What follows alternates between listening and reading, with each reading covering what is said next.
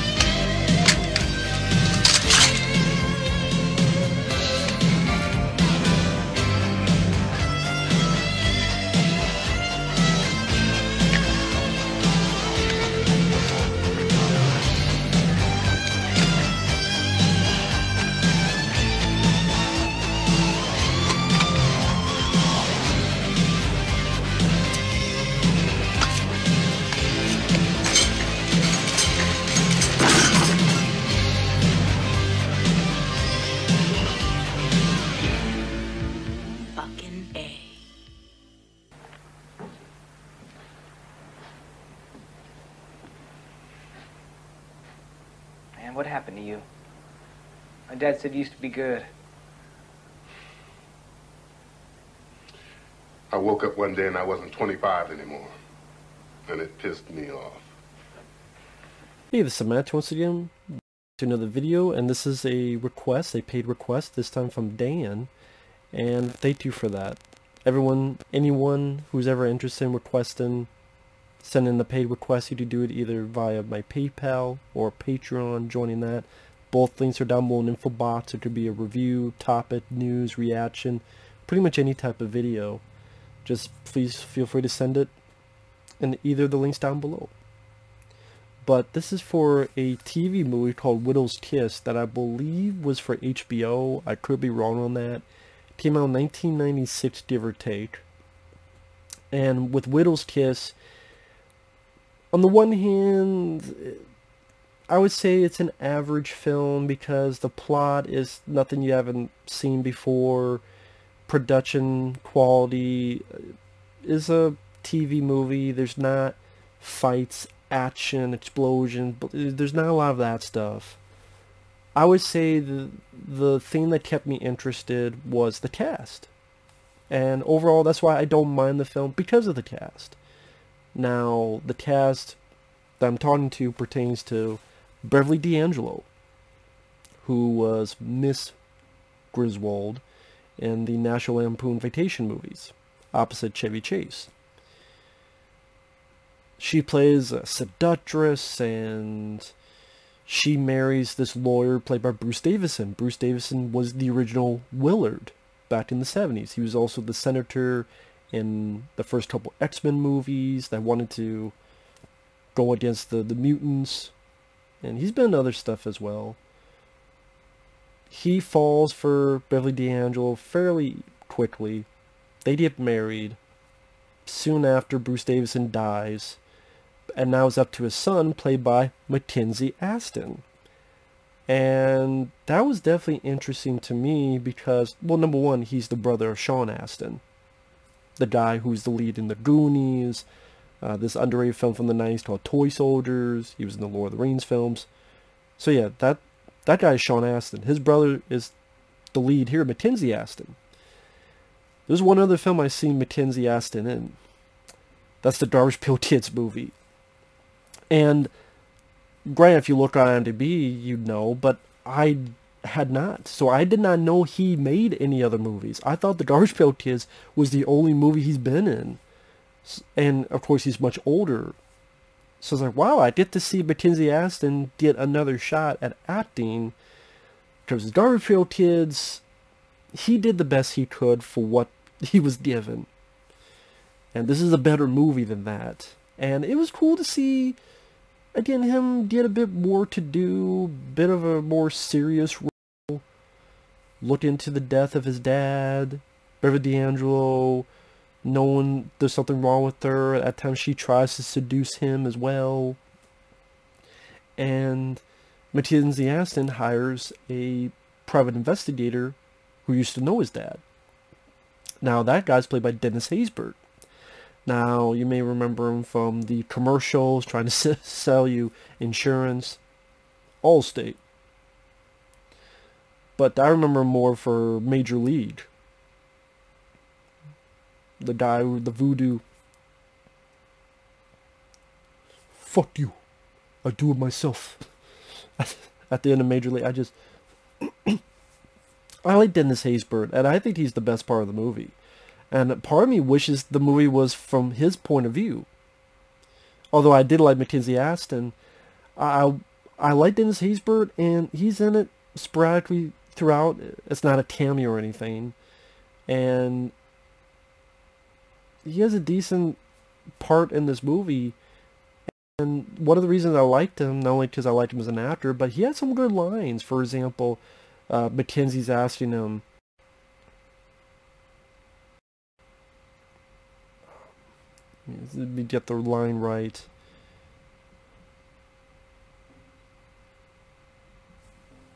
Like, why are you so angry? How come you get so mad? I woke up one day and I wasn't 25 anymore. And it pissed me off. I, for some reason, I like that line. Or uh, there's a, a, line earlier where Mackenzie's asking him about stuff, and he's like, I don't chat, especially at 10 in the morning. Or he's talking to someone, and she's like, you hold out on me? Hey, I kicked ass. so Dennis Haysbert was was a nice presence to have in the film. Some nice levity to his performance. And like I said, I wish more of the film was about him because he was easily the most interesting character in the flick.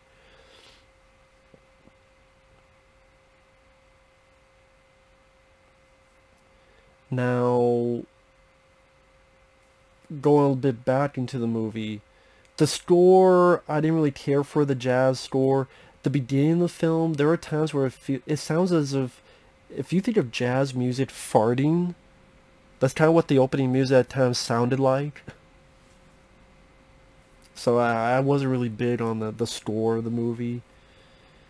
Uh, and said, the movie itself is fairly average. Like Bruce Davison, he seems to fall in love with Beverly D'Angelo very quickly because we only see him with her twice. The first time they meet, and then they have dinner and sex. Then the next time we see him, gets married. I thought, okay, this seems rushing it a bit. Especially when it gets to a point where Mackenzie comes out of the shower, she's there, and then Bruce Davison says, she says you exposed yourself. I'm like, you're not going to believe your son, but you believe this woman that we've only seen you be with twice before you got married? So some of the stuff is like, uh, I don't know if that really works the best on the script level. But Mackenzie Astin, yeah, I didn't mind his performance. Uh, I don't think he's as good as his brother, Sean. Which is funny because his character's name here is Sean. But uh, I thought he was fairly capable in the role.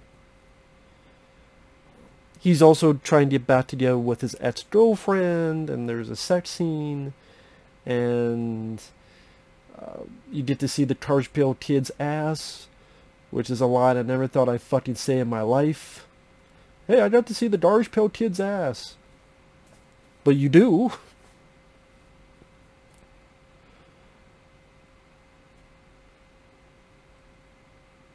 But I said, that when you watch the movie, if you're not interested in the cast, I don't know how much you'll get into this. Just Beverly D'Angelo was interesting to see her play a bit more of a villainous role, a little bit more of a seductress role, because I mainly remember for the sweet wife and and mother and vacation films. So it's nice to see her stretch her acting. Like I said, Dennis Haysbert, he's fun in the role. Mackenzie Astin, it's a good it's an interesting curiosity for me. Like, from Pail Kids to this, okay. yeah, he's actually not that bad. I've seen so much worse actors I got so many more opportunities.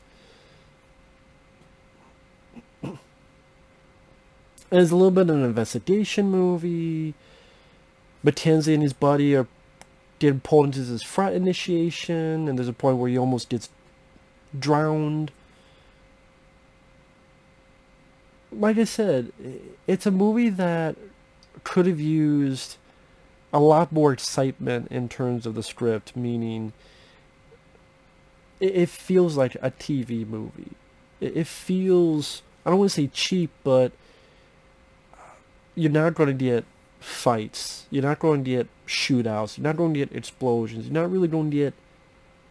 Th- this seems like if you cut a, if you cut some of the the scenes, like when Beverly D'Angelo has a son, but it's not a son. It's just her partner in crime that she said was her son, and because he sees them sexing it up a bit. If you cut a few scenes like that out, this could be a forty five minute episode of a TV show. Like if it was Murder She Wrote or Columbo or something. Like I mean it that that kind of thing. That's what I mean. It just there's nothing that big, grand or memorable that you don't really stick with you. So like I said,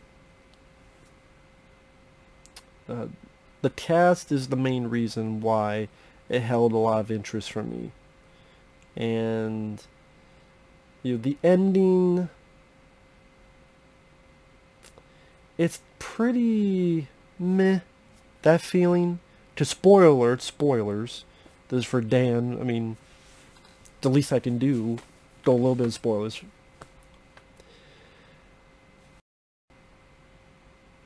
like I said, Mackenzie and his buddy did this frat initiation where they're supposed to drop off this bridge to the water. When he gets in there, he almost gets drowned, which is pretty decent. It's the actual actors underwater.